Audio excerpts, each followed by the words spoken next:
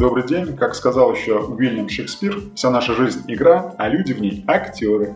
Но, к сожалению, некоторые из них играют на темной стороне, не по правилам, и всячески пытаются нас с вами обмануть, используя э, в том числе различные приемы социальной инженерии и играя на наших чувствах. Раньше уличное разводило, а сейчас онлайн-мошенники, как правило, играют на двух основных чувствах. Это чувство страха «все пропало» и чувство внезапного обогащения «я сказочно богат». Поэтому, если вы чувствуете, что при звонке на вас давят, торопят, пытаются вызвать эмоции и выпытать информацию, то вспомните этот ролик и доверьтесь своей интуиции. Надеюсь, что она подскажет вам правильное решение.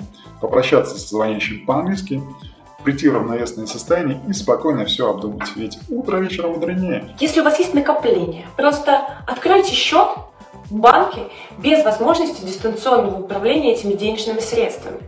Возьмите расчетную карту и храните на ней только ту сумму денег, которая нужна вам здесь и сейчас. И тогда вы в своей собственной голове будете уверены, что ваши деньги в безопасности.